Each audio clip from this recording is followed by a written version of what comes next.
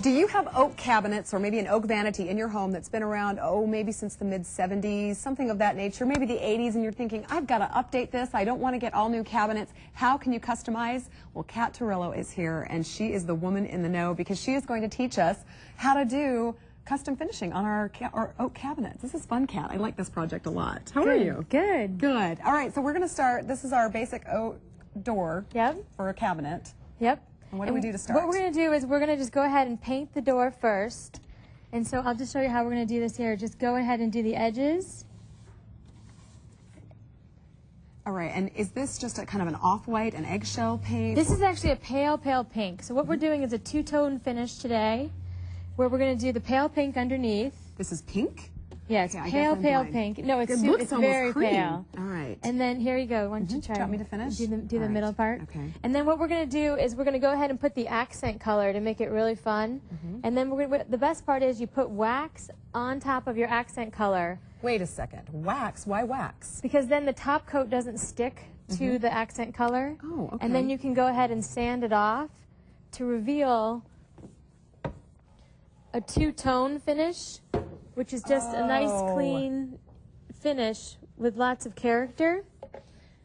I love that. And then it's fun. You can also just go ahead then and add decorative knobs. Mm-hmm. So good job, good job. There we So go. the key thing you want to remember when you're painting the door is full strokes all the way across. Good job, good job. Well, look at you. You're you're doing the nice little And finishing then touches. the, and then the edges. When you do the corners, you want to make sure that you do the corner this way, Mm-hmm. and then you go ahead and turn your brush and make it this way. So you want to make sure you follow the grain Mm-hmm. really nicely, so you have nice clean edges and corners. Great. So that's our first coat. All right, so we put the pale pink on, paint that, and then d- you're putting the wax over, and Right. then the accent color. No, no, so, Oh. sorry. Here you go. Here's your right. wax, All right. and then I'll grab mine here. All right. So what The do I do? second step is to go ahead and put your accent color where it's going to be mostly worn, you know, corners, edges, kind of things across the middle. Mm-hmm. And then you're going to wax that. So you go ahead and put the wax on pretty heavy. Because what that does, then the paint won't stick to this part. Okay. So anywhere you put the wax, the paint won't stick. So we'll go ahead and do that. Okay, I've got the wax on it. And then we take, here's your sandpaper. All right. And this part down here I've done before. So this part, so we're just going to go ahead and then just gently sand through. whoop. You just go ahead and gently sand through the middle here, and you'll see. Let's see. Here we go. And you see how what happens then? Here's a spot right there that's been done. is that it then brings out whatever your accent color is. Oh. No, I know where they are. Okay. There you See, go. you knew you've got the secret I knew where they were. Well, once you put them down, so then you know where they are, and then if you go across and sand it, that's what brings out your accent color. Okay, so I guess I'm not getting this. You've got Sorry. you've got you put the accent color down first, then you painted over it, then you put the Yes, wax. I'm sorry. I oh, apologize. Oh, no, no, no. I was a step wasn't ahead following. of you. Okay, you were ahead a step ahead. So accent color first, then the, the pale pink over that, then the wax where you don't want the paint. Right. Okay.